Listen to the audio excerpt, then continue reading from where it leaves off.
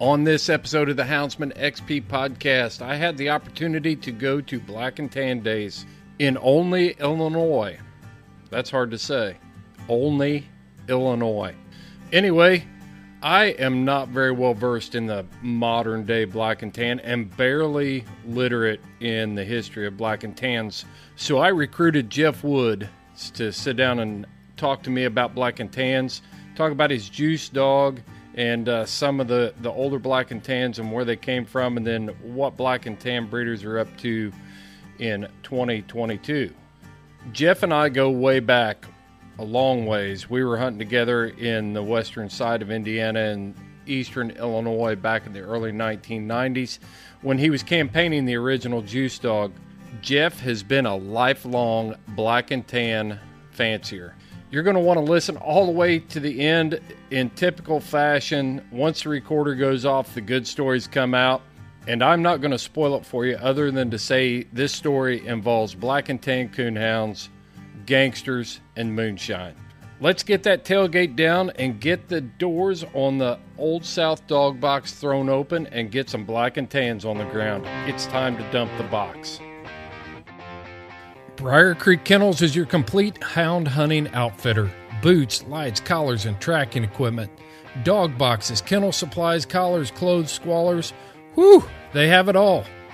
Briar Creek Kennel is a Garmin and Dogtra dealer. Owner Chris Girth will ensure Briar Creek Kennel customers will get top of the industry customer service. Whether you purchase from their website or you find them at a major coonhound event, Chris and his staff will share expert knowledge and experience about every product they offer.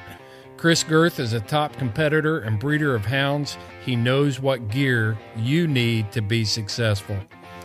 Look for Briar Creek Kennels on the web for a complete online store or look at their fully stocked trailer at any major coonhound event. Briar Creek Kennels offering a hound hunting public generations of excellence.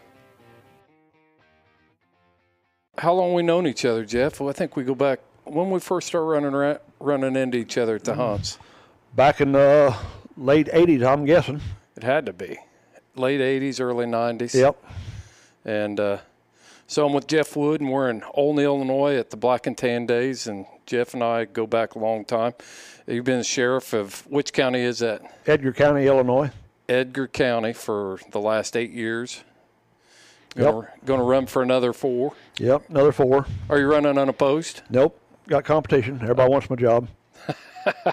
What what's gonna happen? You might retire this fall if you get beat, won't you? I might, yeah. yeah, Have to coon hunt for a living. yeah. Make some big money. There you go. There you go. So, yeah, the reason we're talking, I, I want to talk to you is because you've had you've had some pretty good dogs and been involved in black and tans for a long time, and and uh, yeah, tell us tell us about the type of dogs you've been hunting all these years, Jeff. Hell, I've, I've been hunting black and tans for, oh, a little over 50 years, I guess. I've been in the Black and Tan Association for just shy of 50 years. Uh, I'm probably the youngest old old member in the association. Right. Uh, I joined when I was a kid. and Back then, I eat and breathe black and tans. Uh, you know, I've always kind of liked to like to track dog. I still like to listen to a dog run a track. Tree dog, uh, like a good mouth, but I, you know, a lot of guys say they don't care what a dog looks like as long as it can tree a coon. But I kind of still like to lead a lead a pretty dog, and I like to lead a pretty horse. So yeah. I'll tell you what, it's it's just as cheap to feed a good looking one as it that's is right. a sorry that's one. right. And they're out there. That's that's right. And it, I've always found that if you got a dog that you like looking at, you'll put a little more into them. Yeah, you will. But you can also go back and say that they all look pretty good when they're doing their When, job when, when they're right. treed, they all look pretty. Yeah, yeah. So, but you have one dog in particular. Yeah. You had Juice. I had dogs back in the early 90s, Black Juice. Bought him off a trade row. Uh, he was a grand show champion when I bought him. I made him a grand night, uh, high scoring black and tan male in the world hunt.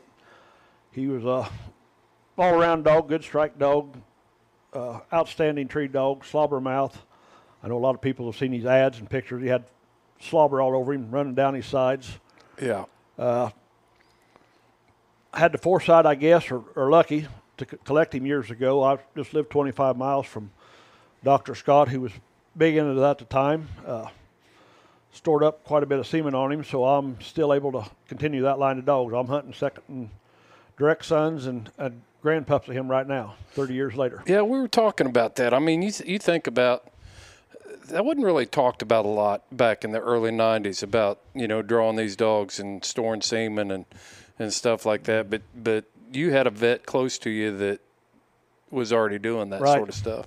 He was Doc Scott was a pioneer in it. I think he was affiliated with the University of Illinois at the time. Uh, he was a, you know, just kind of a founder of a lot of artificial breeding, uh, frozen frozen semen, embryo transplants. Especially, I think dairy cattle was what he really got started in. I was going to ask if he if he's doing other stuff too dairy, besides dairy dogs. cattle and then beef cattle was his big thing when when he started the dog business. The dogs were kind of a side side venture for him, but the cattle was his big big thing. But like I say, I was fortunate to live close to him. He he was raised in the same uh, part of the county I was. My my family and his family knew each other. Uh, I guess he kind of took me under his wing a little bit, and uh, so I got to spend a lot of time over there. I just my regret, like I told you earlier, was I should have spent every day I had free over there and, and learned it because I wouldn't have had to dealt with the public like I do now. Right. So let me ask you this: um, Did you guys ever talk about like how long artificial insemination's been around, or did he ever talk about how long they, he had been doing it in cattle and livestock and stuff like that? Yeah, he'd been. I mean, you know, we the dog stuff. I think Spring Creek Rock and and uh, of course Steve Kenny that had the Walker dogs. He he bought all the Spring Creek Rock semen back in them them days. He done a lot of a lot of business with Doc Scott. Doc done the, the inseminating with the Spring Creek Rock stuff. But I think Spring Creek Rock had been done back in maybe the seventies. And I'm off top of my head, I'm thinking Doc was doing the stuff with the cattle you know, even years before that, because he'd talk about getting off an evening drive to Mississippi, in, in, inseminate a bunch of cattle, and drive home and be back to work the next day. Wow. Yeah, I guess I was always pretty ignorant about it. I always thought it was like a you know late nine or nineties, twenty first century thing, but but then I guess no doubt I'm ignorant about it because then I find out that like hard time or um uh, Spanky, Right. the blue tick. There's Spare there's time straw- Spanky. Yeah, spare time Spanky. There's there's um, straws on him out there, mm-hmm. and that that would be you know Spring Creek Rock era type Yep. stuff. So, so tell me about Juice. What kind of dog was he? Juice was Just uh, to, just to hunt him every night. I mean, I drew him a few times. yeah, hunt him every night. He was just actually as a, a pleasure dog. He was just just that a pleasure dog. You know, he got in there, got struck, get treed, have a coon. Uh, but he was a completely different dog than night hunt. He he knew when he was at a night hunt, and you know he had that little give that little extra. You know, get off by himself. Uh, you know, he, back in them days, it wasn't a big deal to be split all the time. So he would, you know, he'd tree with another dog, and uh, but he just, you know, I had people that hunted with him night after night, and then spectate me in a night hunt and say, you know, what's the deal with this dog? I'd never seen this out of him before. I said, we're at a night hunt. I said, he knows the difference. Isn't that something? Some of those dogs. I got a blue tick female at the house right now. You take her out by herself, she looks pretty common. I mean, she trees plenty of coons and, and, and does a good job. But man, when you take her to a night hunt, it's like she turns it up a notch. Yep. Yeah, it's I, I've had dogs like that in the past, so I know what you're talking about. Was he good about having coons? Good about having coons. Very seldom took minus points. If he if he got a minus point, it was usually my fault. Yeah. What kind of strike dog was he? uh, good track dog. He was he's a dog. If he was if he was running a track with a chop mouth, you could treat him on the first locate. If he was running with a ball mouth, you better let him locate three times and, and then tree him. Uh, like I say, he was a whale of a tree dog. You know, 120, 30 bark a minute tree dog, slobber mouth. He had a pretty good clear mouth on him Good, too. good clear mouth on him. You could hear him a long way. Yeah. Yep. Yeah, he was one of those. If I'd have, if I'd have been thinking back in the day, then you probably could have talked me into talked me into hunting one of those black and tans. you know, black and tan's the only breed that of of the hounds I haven't ever owned. Yeah. It's the only one. I don't know why. I've always I've always liked looking at them. I've hunted with several good ones. Um, you know, it just seems like the timing's always off. You you end up with um, you know something else at the time, and something comes available. That's just one of the the dogs that I've never had, but I always like the looks of them, uh, like the markings on them. I like the people that hunt black and tans. The whole I don't know why I never made the Black, black that and tan, happen. black and tan world's a good good world to be in. It's I've made a million friends, and my, my children have made good friends ever. And, you know, they gave a talk today about the black and tan yearbook. That if you ever got in trouble anywhere, you could open your yearbook and find somebody to help you anywhere in the country. And there's a lot of truth to that.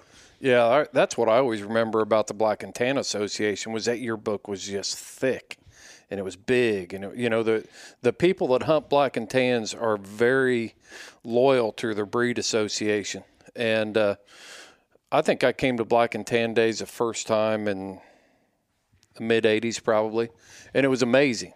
You know, you pull into Charlie Brown Park when it was over in Flora, Yep. and uh, you couldn't find a parking space. You, you, I mean, you you had to walk if you didn't get there early. Campers set up everywhere and things like that. Yeah, that's it's been like that for years. Of course, times have changed. The last two or three years, COVID's come in. You know, we skipped a year and it just never bounced back yet. But it's you know they've got a good turnout this year. So. Yeah, yeah. So let's get back to Juice a little bit. I want to talk a little bit more about him. Tell him, tell me about Juice's. First of all, what have what have you accomplished with Juice? Why have you stuck with that? If you're hunting a son off of him from semen 30 years ago, what was it about that dog that you want to keep? You want to keep reproducing off of that? Yeah, they were they were they were, they were good looking dogs. Uh, good tree dogs, uh, balanced. You know, track dogs. Uh, pretty pretty much trash free. Don't have a lot of trash with them. They're they're intelligent dogs too. I mean, Juice. I, I used to take him to the hunts. You know, I could put him in a pen at Winter Classic or Autumn Oaks and tell him to get in a pen. He'd hop the gate, get in the pen, tell him to stay there. He'd stay there all week. Never had to time up. Somebody won't look at him. You holler at him. He'd jump the fence, stand there and let him look at him Yeah. Pull it, pull him off a tree and unsnap him. He'd follow you out of the woods. And, you know, people wish their kids would mind like like he did. I know I did. Yeah, me too. Me too. So, what what kind of what kind of bloodline do you go back to? He was a direct son of Ward's Bow, who was a popular stud owned by Ed Abel. Uh, he was out of Tennessee judge. His mother was Sanders Hank, and which was uh, Guthrie's deacon, uh, Tennessee fiddler, which back in them days were the popular. So he had all the popular dogs in him at that time. Yeah, So I'm, you know, kind of with him and the semen, I'm kind of bringing some of that old blood back, crossing back with some of the modern stuff, Mm-hmm. and you know, I'm getting the type of dog that I enjoy hunting. You know, I'm the one that feeds them, so I'm the only one that really has to be happy with them. yeah, yeah. But the results are, are real good on them. Did you raise him from a pup? No, bought him bought him at Walker Days off a off a trade trade row years ago. He was he he was a had a grand show champion title on him. I'd seen him in the magazines and and uh, a guy come and told me about him and said if you want a tree dog, that's a dog you need to get a hold of and so we, we bought him and me and Tim Whitaker bought him together and then I took him home and hunted him a few nights and I liked him so I bought Tim's out and rest is history I guess. Yeah, yeah. Well, I, I got to track down Tim while I'm here. Tim and I go back farther th- than you and I do, uh, back to the mid '80s. And uh, but yeah, Tim Tim's made his mark too with his smoky smoky dogs. and- Smoky line, and that's and since that time, you know, talking about the Smoky line, I kind of fizzled out of hunting there for three or four years with my son and stuff. He wanted to get hunting, so I bought, or I took the Smoky three dog that Tim had and just hunted him for a while. Then Tim decided he wanted to sell him, so I bought him and raised a couple of litters. So I've kind of incorporated the Smoky line of dogs into my dogs too. So about everything I've got's got the, the Juice line, the Smoky line. I've got some of the modern stuff, the Batman line of dogs. So Which one of those smoky dogs was monkey faced? that was the original Smoky. The original Smoky. Smoky one, yeah. Yep, and that's the one that that I drew. I used to hunt a little red bone female uh, in the night hunts back in the '80s, and and uh, that's when uh, Tim and I met. And I remember him hunting that monkey faced dog that was Smoky, the original A Smoky little dog. bit of a high tan dog, yeah. Yep. Yeah, high tan and, and monkey faced. It was, and uh, but he he's really. Does he throw that in his pups? Are you getting that now? Very seldom. What causes that? I don't know. That's just something that's been crossed back in him years ago. I know I raised a litter out of him.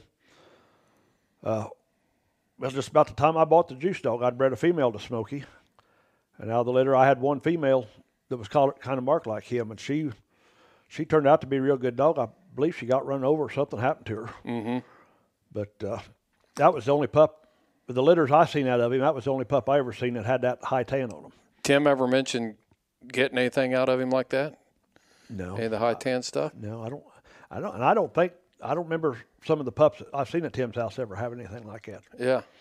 That must be recessive. It must be a recessive gene in there. Mm-hmm. I mean, I know that monkey, the monkey face itself, I, you see, still sticks out a little bit, but the as far as the high tan on the legs or something, I don't. I've Yeah. never seen that since then. Yeah, you can usually spot a spot a smoky, an older smoky dog because they they have more brown on their Mm-hmm. face, you know, than than a lot of, um, you know, some of the other lines of black and tans like the Wagners and stuff like Right. that. You know, the Smokies always had a little more tan, but the, the whole full monkey face thing was um, was a rare thing to see. Hey, I want to talk to you about coon hunting lights. Over the course of my hunting career, I have had a lot of lights, starting with the night light, 6 volt, the wheat light with the uh, gel cell battery, and the 5100 head. But the first cool light I ever had was a Cajun, and it was a Sweet 16. The battery was a big square box, and it was worn on a belt on your side. It weighed about, about a gazillion pounds, and, and it, there's a reason why the old coon hunters have limps and have bad backs. Fast forward to 2022, we go around the hunts, we see all these cap lights, everything weighs 18 ounces. There's enough light modules on there to land aircraft, and the components for each light are basically the same. What it really comes down to is the person that puts that light together. At Cajun Lights, L.W. Nixon puts every light together that he sells. I've been using the Cajun Bayou for a couple of weeks now, and I am impressed. This is a simple and highly functional light that is lightweight, and I've spent enough time with LW to know that he is going to take special care in putting your light together. Whether you choose a Rougarou, the Microgator, the Bayou light, all high quality. He's got hunting vests over there. The lights attached to the vests. They're interchangeable. I mean, the the options are endless. You can check it all out at CajunLights.com. LW is going to take care of you over there. Check out Cajun Lights at CajunLights.com. I was about eight when I started coon hunting. How'd you get into it? My dad was a. I liked to hunt. I mean, I lived kind of at the edge of town, had woods behind my house, and I spent all my free time. My grandparents had a farm. I was always in the woods. Mm-hmm.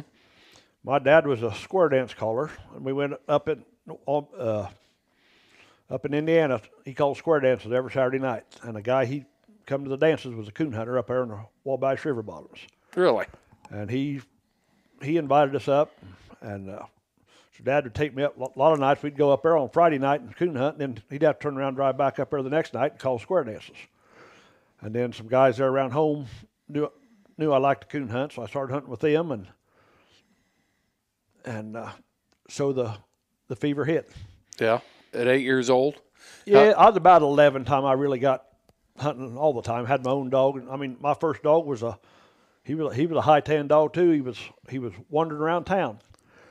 Uh, I I caught him, took him home, and he, he wasn't much count, but The first ones just, they never are, no. you know. And I bought another high tan dog off a off a, well he, he I didn't know he was going to be a high tan dog. I bought him out of an ad in a, one of the old magazines. Had him shipped in here, and he was a high tan dog, and he about twice as old as he was supposed to be, but he he would tree a coon. And then I got got my first registered dog, and had registered dogs ever since. Yeah. How old do you think that old, that dog was? Well, he's supposed to be in six or seven. Uh, he got he got down on me, took him to the vet, and they said he had heartworms. He said he's more like eleven or twelve. Uh, I had that same thing happen. You know, I messed. I don't know how many hounds I had there when I was younger, but when I was seventeen, uh, there was a there was a man in our community named John Harris, and he had a he had a dog out of uh, Hearns Red Eagle Dick, and uh, his Rock Creek Charlie Pride was that dog's name, and John was get he was probably about seventy, and and he just couldn't go anymore, and he knew I loved to hunt. He just gave me that old dog, and that's when the bug I knew I enjoyed coon hunting, but when Charlie came along and he could act, I mean, we we'd go hunting every night, and we might tree a coon once or twice a week Mm-hmm. with the caliber of dogs we had. And I still remember the first night I turned him loose as Frosty. And I met a buddy of mine out of woods. He was already there. He already had his old Queenie dog in there, uh, running the track. And I cut Charlie into her, and he went in there and struck a track and went on past and got treed and had a coon. You know, Yeah. those those those first dogs that you get, you remember them. That that actually, it's like my dog treed a coon. Yep, them, them are the days. I mean, you just couldn't wait for. You know, I, I went through a lot of dogs, Yeah, and I mean, they were all had a good point or two about them, but I just never had a complete dog till I was. You know, I, I bought a pup in '78, and uh, he he turned into be a real nice dog. I think I was too young to realize what I had at the time, and by the time I realized what I had, I was you know he was getting old. I I campaigned him needed a win to be a grand knight when he when he died, but you know he was he was an outstanding hound after I started hunting him. I mean, just the dogs I put him up against and won against it. But I say that's part of being a kid, I guess. how would you how old would you have been in '78? Uh, Thirteen. Yeah, 13 years old in 78. And uh, what was he out of? You remember? Yeah, I. Uh, he was off of a dog called Shaker Hill George, who went back to the grandson of Tall Timber Roy, which my first registered black and tan pup was a direct son of Tall Timber Roy, who was a, a Bloodworth bred dog down in Tennessee. Uh, she got killed by a car when she wasn't wasn't very old. And I bought a couple of more young dogs off of Tall Timber Roy. Well, one pup and one grand pup off of Tall Timber Roy. Then I ended up buying this pup. I was out in, in Ohio and found this pup off of off of Shaker Hill, George. The mother was off of Screaming Eagle and Eads Bruiser. And uh, the pups wasn't ready to go yet, but the guy was coming to Autumn Oaks that year. What was the dog's name? Dick the Bruiser?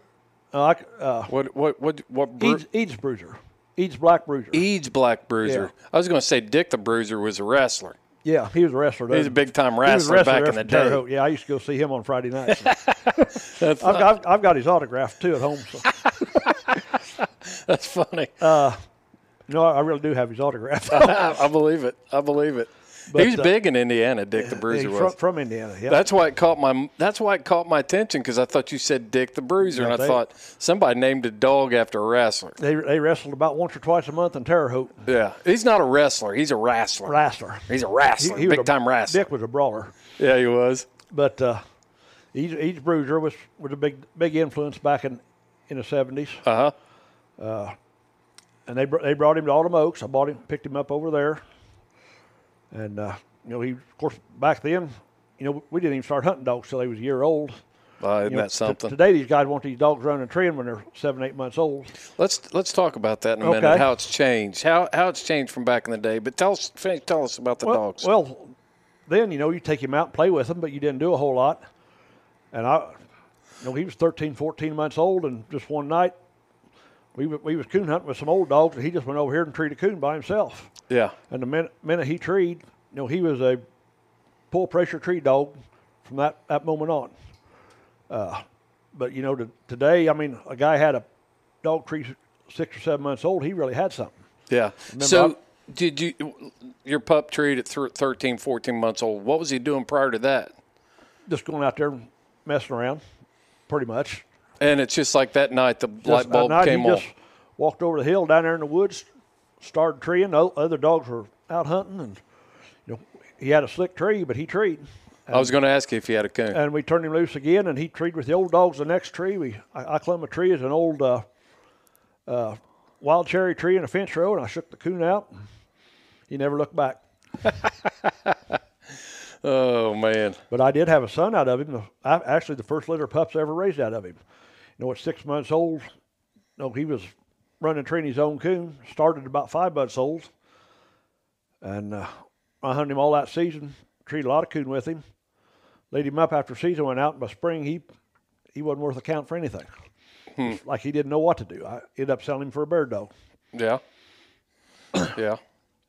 So, what do you think the differences are? I mean, back in the day, like the time when we're talking about 70s and 80s, you could go to a night hunt and there would be there would be blue ticks and black and tans and red bones. I mean, the, the, all the colors Yep. were there. They were all all present, and the hunts were full. The bench shows were full. yeah, Every breed represented.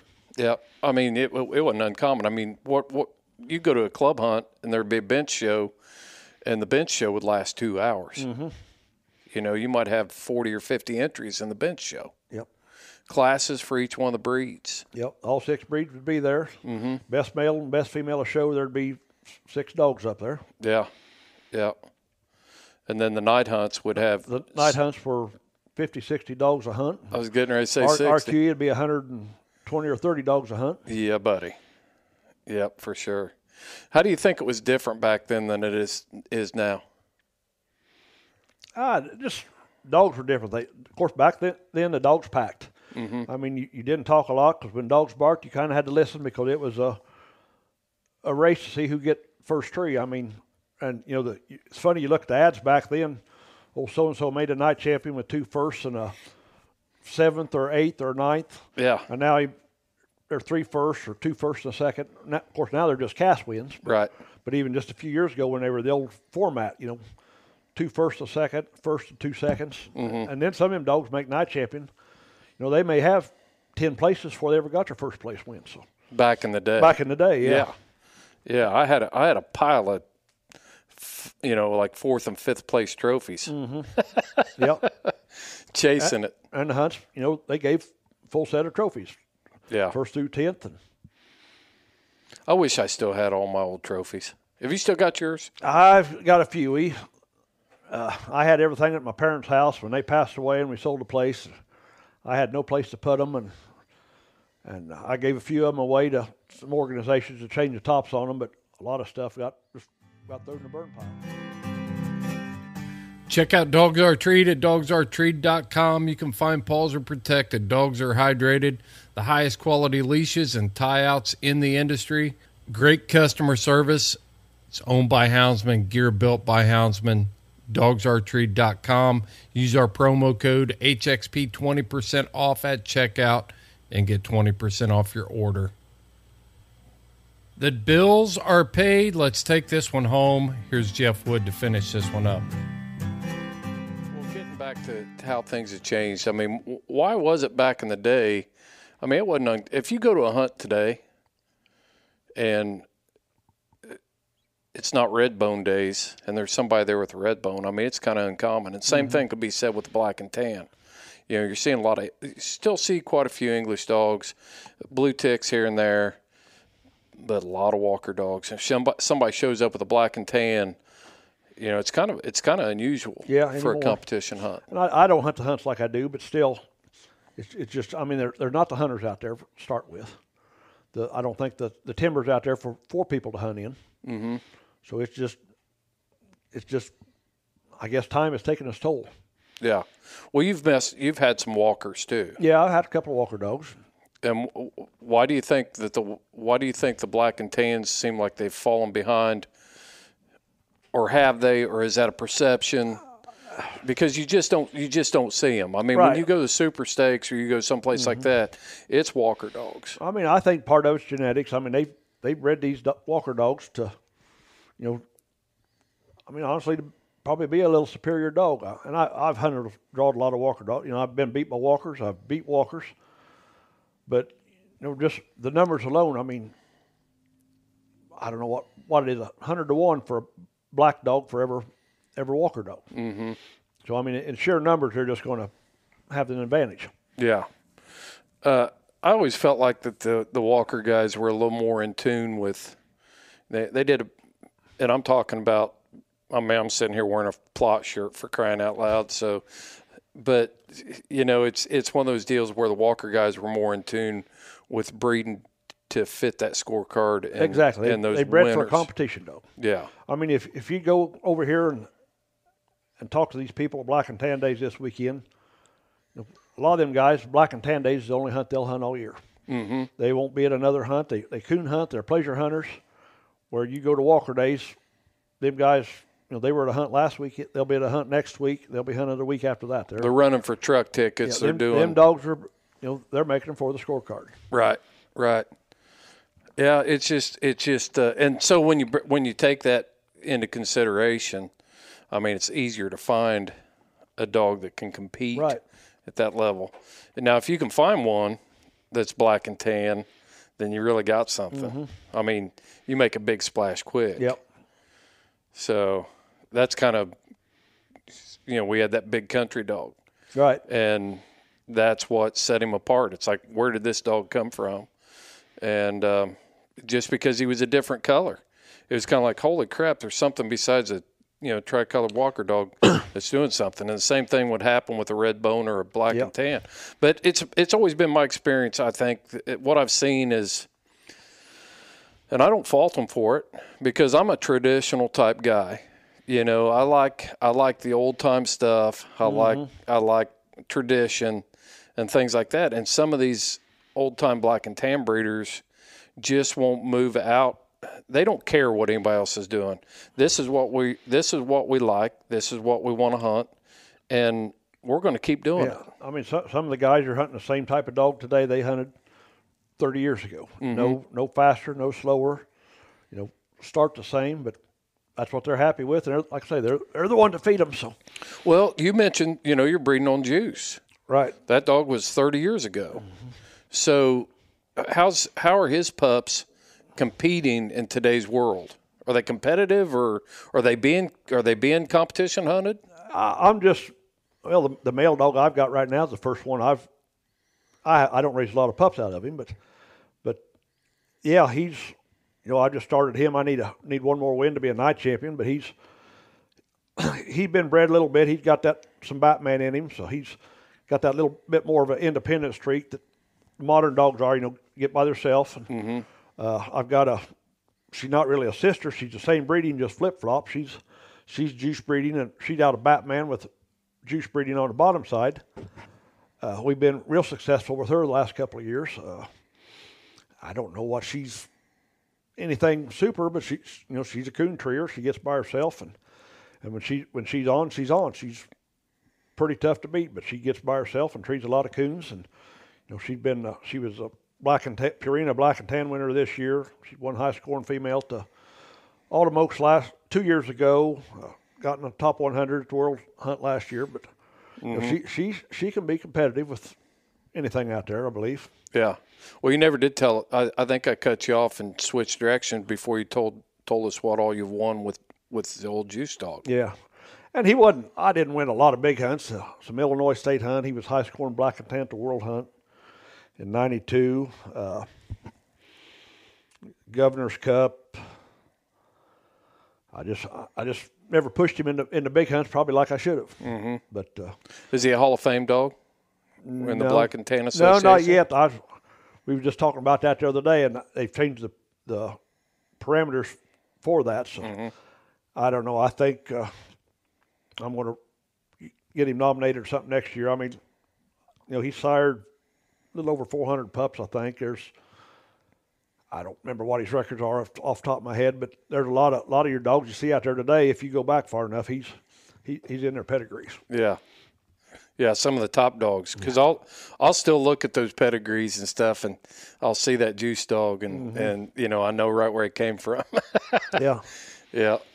How many how many generations? Uh, I wonder how many generations that would be if it was thirty years ago. They they'd probably still be showing up in some of those six and seven generations if it was just Yeah, he's still. I mean, there's still a few dogs. Somebody will advertise a dog, and I'll say, I'll see a dog maybe back in his third generation. I'll say, well, I know that's a, a grandpup of him, or you know, Yeah. great grandpup of him. So, of course, I'm kind of a student of pedigrees anyhow. So, yeah yeah. I love pedigrees. Why? Why do you? Why do? Okay, let's just talk about that because we this podcast goes out all over the world. We've got people in the West that that don't keep pedigrees on their dogs. They don't register Right. stuff. Why do you study pedigrees? That's a good topic. Uh, I just think pedigree's an influence, and don't get me wrong. There's there's great dogs that got terrible pedigrees. Mm-hmm. Don't even know what their pedigree is, but And there's there's terrible dogs that got great pedigrees. Exactly. But a pedigree is a foundation. This this whole dog breeding business is a crapshoot, in my opinion. Yeah. But you've got to start somewhere. Mm-hmm. And if you've got a dog with ability that's got the pedigree to behind it, same way in the horse business. I'm, you know, we're in the horses too. I'm, I'm same way in the horses. And you know, when I was, well, I was single and even with my wife now. I mean, you know, she come home and there's pedigree scattered all over the house, Yeah.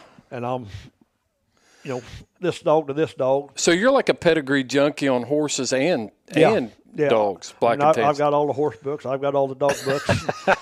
I've got a picture of that dog, or I've got a picture of that horse. Yeah. Yeah. So, what do you think? You started to touch on it there. It's a foundation. So, as a as a breeder, how do you use pedigrees to choose crosses and and things like that? Well, just I mean, like some of the dogs I've got now, they, they've got solid pedigrees. You know, I know. uh, I just seen a dog advertised the other day. Somebody put an ad on him on one of the dog sites. You know, I knew probably three quarters of the dog on his pedigree. I mean, and most of them I'd even hunted with. So, I mean, if I'm going down the road wanting to breed to something, you know, this dog would he would catch my attention. For one, he's he's a coon dog. For one, I know I know what what's all behind him. I mean, I know them dogs. They've they got the traits I desire or, or I don't desire. I mean, if I wouldn't like him, I would wouldn't use him. But Right.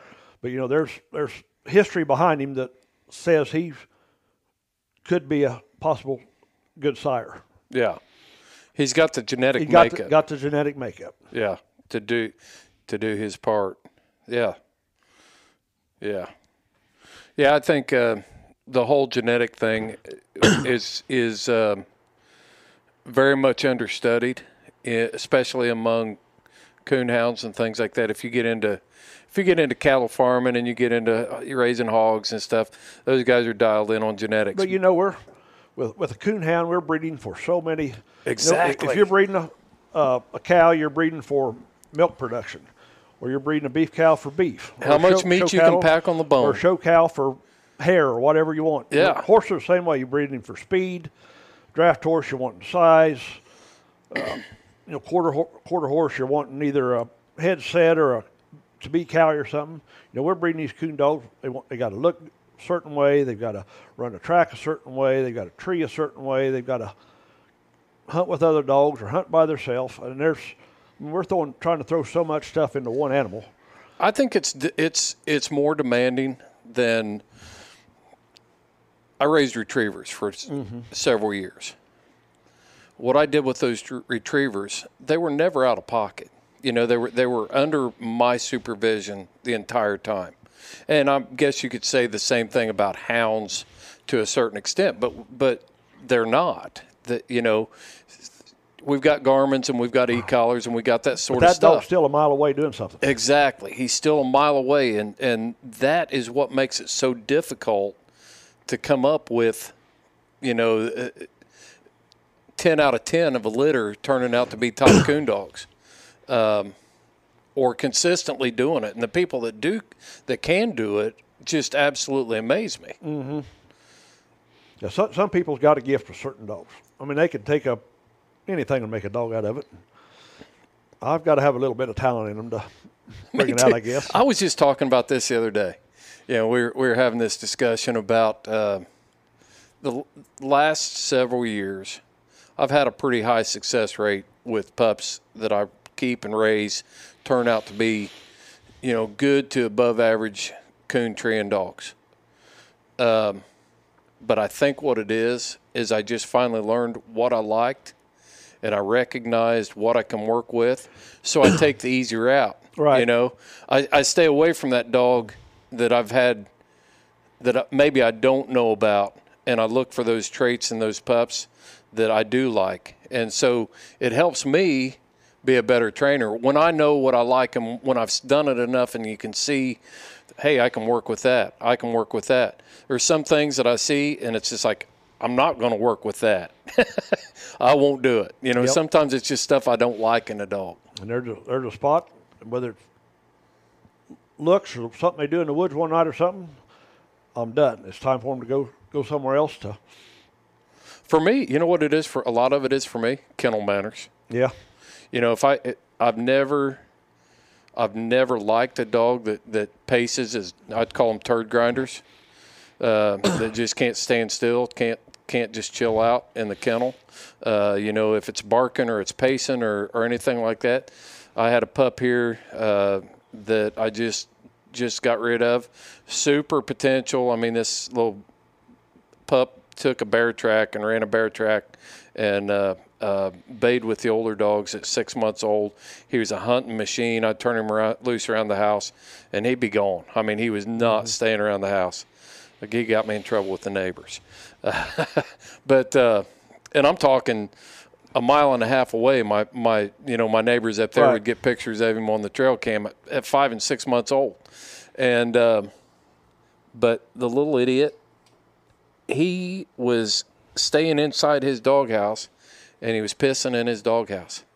And the only thing I can figure is I had a male dog right next to him, so it was he was kind of intimidated dominance yeah. wise. And uh, first time it happened, I mean, it was this past winter. I walk out there and it's like, man, is that doghouse leaking? And I fixed up the doghouse and I tarped it because I, I didn't have another doghouse to put on there, so I tarped it and uh, went back out a week or so later, and the suck, that doghouse was actually actually had urine standing in it, and I thought, well, you got to be kidding me. Mm-hmm. That's after I cleaned it out, and I thought that's a deal breaker, and I he ended up I ended up a guy contacted me. He's like, "Hey, you know where there's just a pup like this?" And I and I said, or bred a certain way. Said, "Just so happened I have one." And I, I told him exactly what he was doing. He says, "What do you want for him?" I said, "If you want him, you can come and get him because he's not going to stay here." There's just certain things that are deal breakers for me. And I've got I've got a female. She's not like that, but just in the kennel, and uh, you know she's she. I think she got that little extra, and that's the only thing right now save, saving her. She just, yeah. I mean, she she's not crazy, but she just she got a habit or two that I just kind of hits me wrong. But like I say, we're we're working through it. I mean, it, she could be worse. I've I've had yeah. worse. I, yeah. There's a dog I had, you know, talking about dogs in the kennel, and here a few years ago was outstanding dog. But he was, you know, his just back and forth, and it just drove me crazy. Mm-hmm. And uh, uh, uh, I had him for another guy, and I just I just couldn't handle it. You know, he, and he was a, could have been a winning sucker, I think.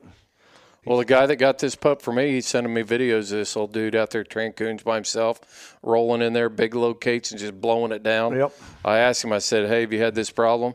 He's like, Nope, haven't had any issues. You know, but, and those are the ones that I used to sit back and I'd be like, Man, I wish I'd have kept that dog. But now anymore, but, I'm just like, He's in a better place. Yep, that's exactly right. He is in a better place. Yep. No regrets. No regrets.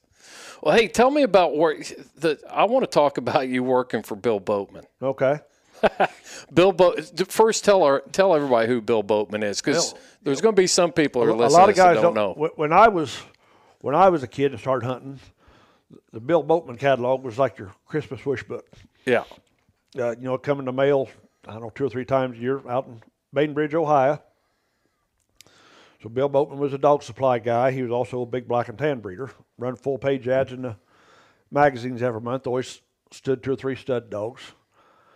so he had a stud dog called Screaming Eagle, and we had a female coming heat. We're gonna wanted to breed to him. So we went out there, and took her out there on on Saturday, I believe. Me and my dad and a neighbor. And Eagle, he could he couldn't get her bred at the time. The guy said, "Well, uh, if you want to leave her here, I'll uh, we'll try to get her bred. So I, wa- I wanted to go hunting out there, and, and uh, in Ohio you couldn't hunt on Sunday nights at that time. And Junior Ralston was the kennel manager, and he was from Terre Haute, which is just where you worked at, just across the state line from me. And he told my dad if I wanted to stay out there for a couple of weeks, he'd bring me home because he had to come back to Terre Haute.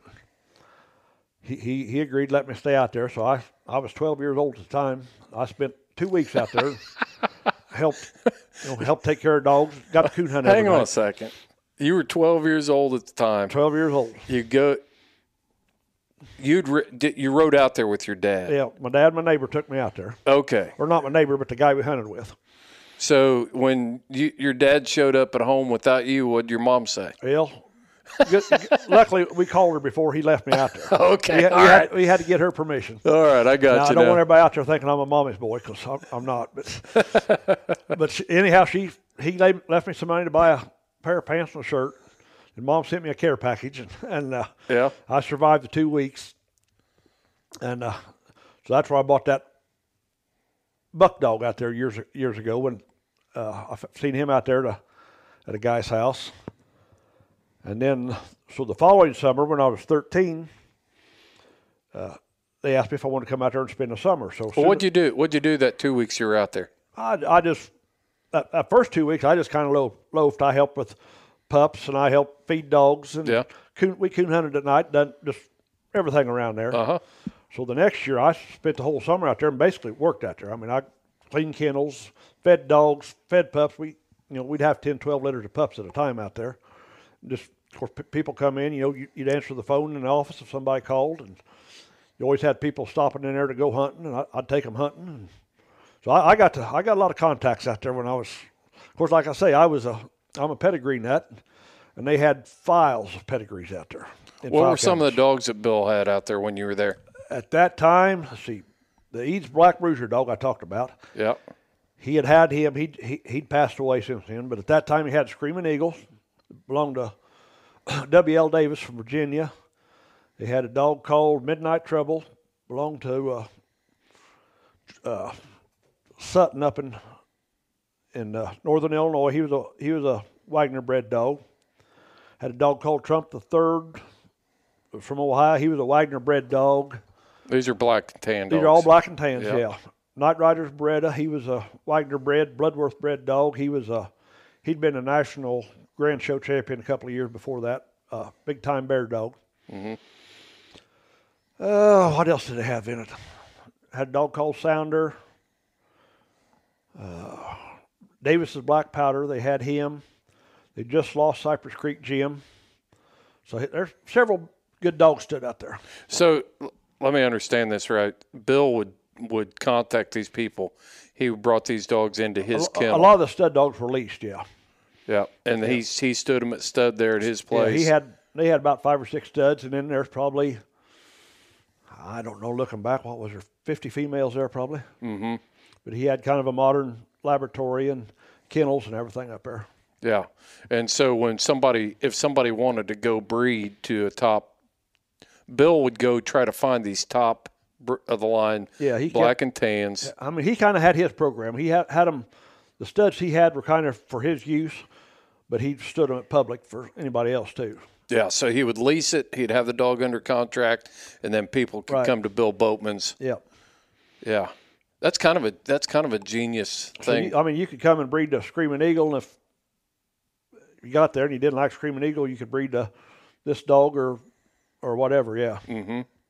Now I've got to dig dig around home. I've got pictures with you know all these big stud dogs standing out front on the sidewalk posing them, and yeah, I, I, thought I was something then. yeah. You said you you were you were.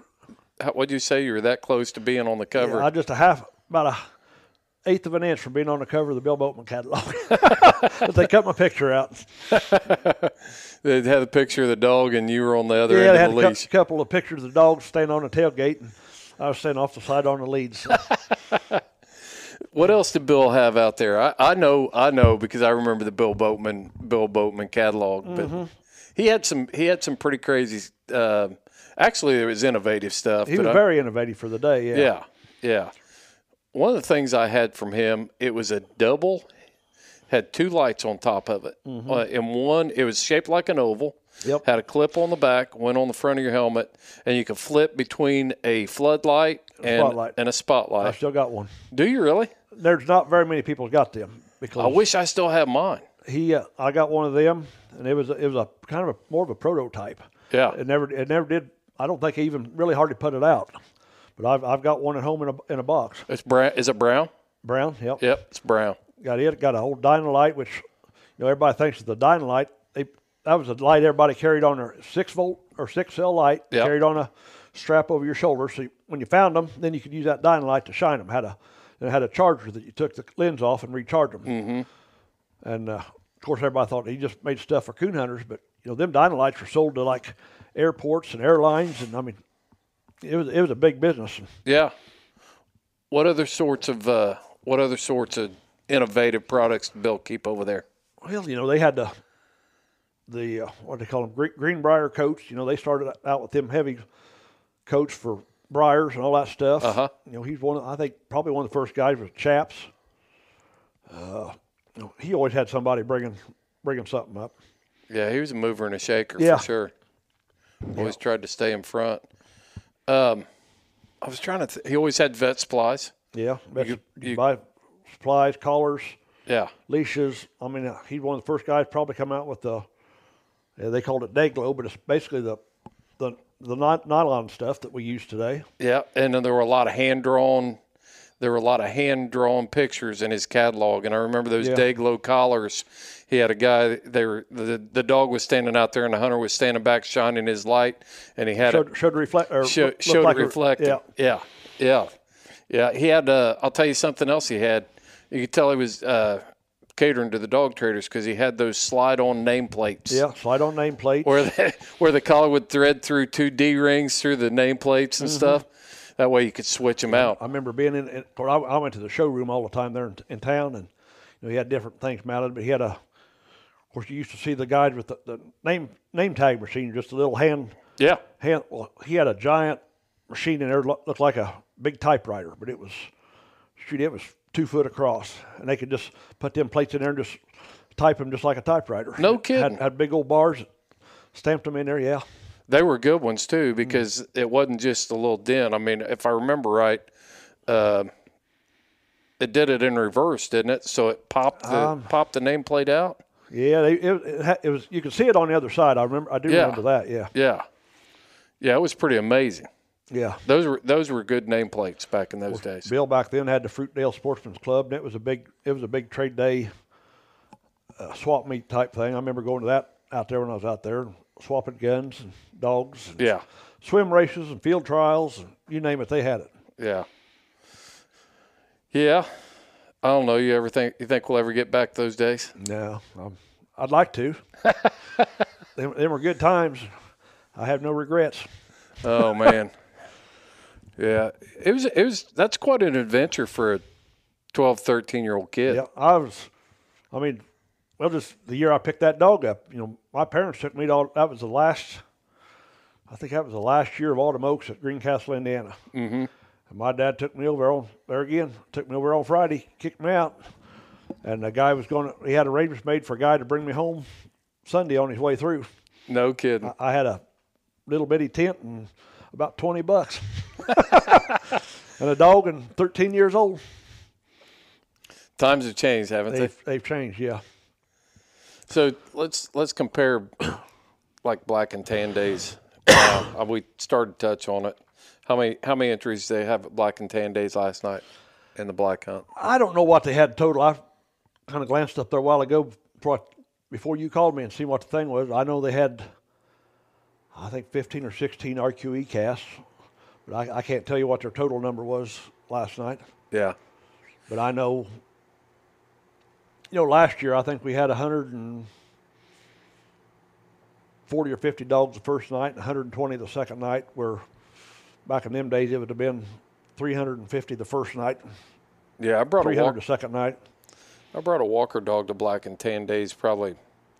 Well, you hunted with Joe, that old Joe dog I had. Um, brought him over here, and I forget how many entries there were, like 275 entries, or Yeah. I mean, it was crazy back in the early 90s. How Well, many entries Even even all black and tan hunt back in the days was, you know, 200, 250 dogs just for the all black, just a uh, big get together hunt, Yeah, yeah. which was why everybody come to black and tan days. Yep, that's right. Uh, It, does it still start? Used to it, people start rolling in on Monday, mm-hmm.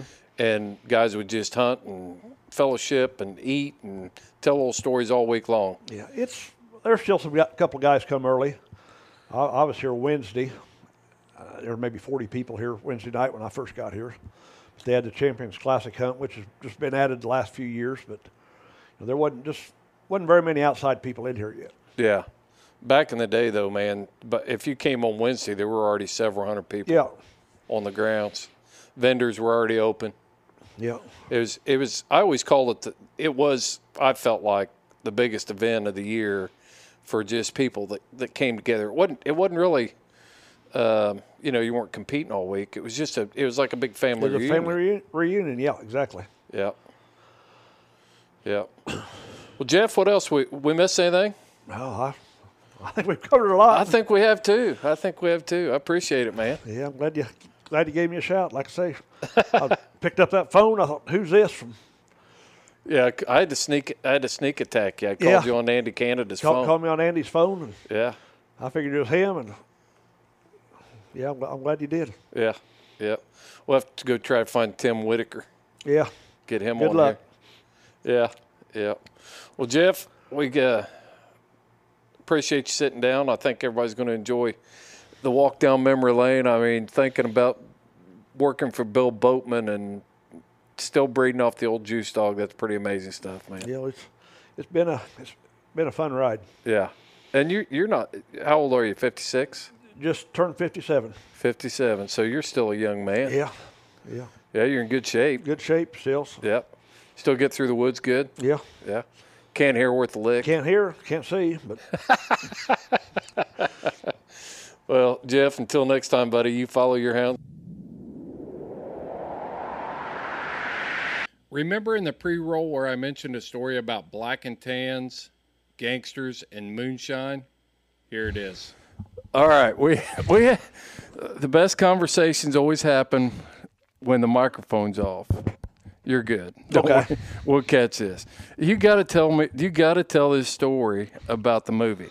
Okay, so I'm- I was in my family's house one day, and my dad went in the, in the house and come back out and said I was wanted on the telephone.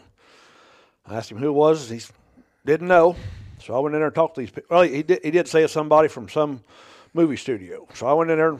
I figured it was a joke, and they were, they were, they were from a movie studio. They were shooting uh, an episode of The Untouchables which used to be a TV series about Al Capone and or Dillinger, Al Capone, I guess it was, and back in the moonshine days, Bootleggers. bootleggers. yeah. Yeah.